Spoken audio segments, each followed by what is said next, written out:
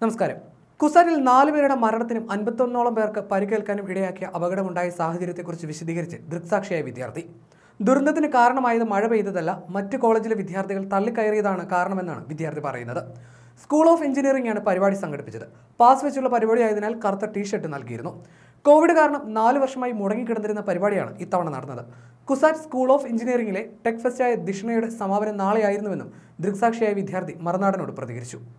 അവരിങ്ങനെ എല്ലാവരും ഇങ്ങനെ കയറ്റാൻ നിൽക്കുക.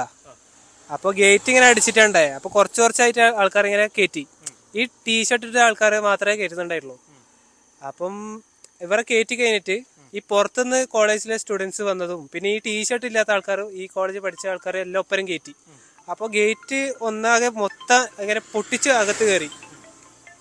അപ്പൊ ഇങ്ങനെ കുറെ സ്റ്റെപ്സ് ഉണ്ടായിരുന്നു അപ്പൊ സ്റ്റെപ്സിലൂട്ട് ഇങ്ങനെ ആദ്യത്തെ ആൾക്കാരെ ഉന്തൽ കാരണം ആദ്യത്തെ കുറച്ച് ആൾക്കാർ വീണു സ്റ്റെപ്പ് മേൽ. അപ്പൊ അവരെ തട്ടി അടുത്ത അടുത്ത ആൾക്കാർ വീണു. അങ്ങനെ വീണ് വീണ് വീണ് ഇങ്ങനെ അട്ടി അട്ടിയായി വീണു എല്ലാവരും. അപ്പോൾ അടിയത്തെ ആൾക്കാർ ഇങ്ങനെ ശ്വാസം മുട്ടി ഇങ്ങനെ ബോധം കെട്ടി വീണായി അങ്ങനെയുണ്ടായി അപ്പൊ അവർ അങ്ങനെ കുറച്ചേരം അതായത് ഇവർ ആരും ഇപ്പൊ അടിയിലുള്ളവരെയാണല്ലോ നമ്മൾ ആദ്യം പിടിക്കാൻ നോക്കുക. അപ്പോൾ മുകളിലേക്ക് മുകളിലേക്ക് ഇങ്ങനെ എടുക്കുമ്പോൾ ഒരു അടിയിൽ പുറത്ത് പിടിച്ചു മാറ്റാൻ കുറെ സമയം എടുത്തു. അത്യാവശ്യം കാരണം കുറച്ച് പേരല്ലേ ഉള്ളൂ. അപ്പോൾ അവരൊക്കെ എല്ലാവരും കൂടി വന്ന് പിടിച്ചു മാറ്റുമ്പോഴേക്കും സമയം എടുത്തു. അപ്പോൾ അടിയിൽ എല്ലാവരും വീർപ്പ് മുട്ടി ശ്വാസം മുട്ടി അങ്ങനെയാണ് പുറത്തുനിന്ന് വന്ന ആൾക്കാരാണോ കൂടുതൽ ഇപ്പൊ ഇതിനെ തള്ളി തള്ളി കയറിയത് അത് നമുക്കറിയില്ല. അത് പിടിയില്ല. കാരണം കുറേ പേരുണ്ടല്ലോ. യൂണിഫോം എല്ലാ ദിഷ്ണരെ ടീഷർട്ടും അതൊക്കെ ഇതൊക്കെ എല്ലാവരും ഉണ്ടായിരുന്നു. ഈ എത്ര വർഷം കൂടിയിട്ടാണ് ഇപ്പൊ ഈ പരിപാടി നടത്തിയത്? നാല് വർഷം നാല് വർഷം. അത് അത് എന്തുകൊണ്ടാണ് നടക്ക നടക്കായിരുന്നത്? എന്തുകൊണ്ടാണ് നടക്കാൻ നമുക്കറിയില്ല. നമ്മൾ സെക്കൻഡ് വേസ് രണ്ട് ദിവസം. അത് ഈ പരിപാടി മുടങ്ങിയത് ഇത്ര കാലം കൊറോണ കാരണം. പിന്നെ പിന്നെ കോളേജ് ഇത് അങ്ങനത്തെ ഒരു അവസ്ഥ ആയിരുന്നില്ല ഇപ്പൊ ഈ കൊറോണ ഒക്കെ മാറി നമ്മളിങ്ങനെ പുതിയ ലോകത്തേക്ക് ഇങ്ങനെ വന്നത്. അപ്പം അപ്പോൾ ഈ കൊല്ലം നമ്മളെ സീനിയേഴ്സ് മുൻകൈ വെച്ച് ഈ ഒരു ഇത് തുടങ്ങിയതാ. എത്ര ദിവസം ഇത് ഇന്നലെ തുടങ്ങിയ പരിപാടിയാ. ഇന്നും ഇന്നലെയും ഇന്നും നാളെയും നടക്കേണ്ട പരിപാടിയാ.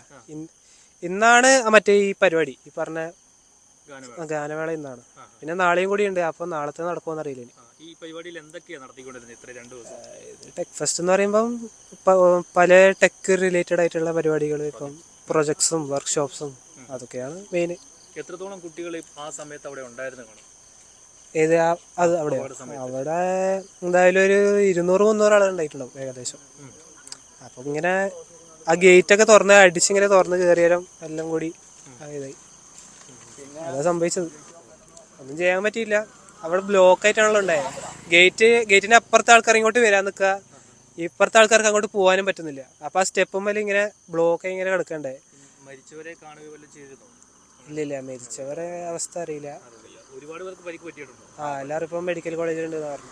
അത് എസ് ഒന്റെ ടെക് ഫെസ്റ്റ് ആയിരുന്നു. അപ്പൊ അതിന്റെ ഭാഗമായിട്ടുള്ള പരിപാടിയായിരുന്നു. അപ്പോൾ തിരക്ക് അധികമായിരുന്നു അതുകൊണ്ടുണ്ടായ പ്രശ്നം. എന്തൊക്കെ പരിപാടികളായിരുന്നു നടന്നുകൊണ്ടിരുന്നത്? അത് മ്യൂസിക് കൺസേർട്ട് ഉണ്ടായത്. അപ്പോൾ അതിന്റെ തുടങ്ങുന്നതിന്റെ മുന്നേ ഇങ്ങനെ ഓരോരാൾ ക്രൗഡ് കൺട്രോൾ ചെയ്യാൻ ഉള്ള ഇതുകൊണ്ടായിരിക്കും.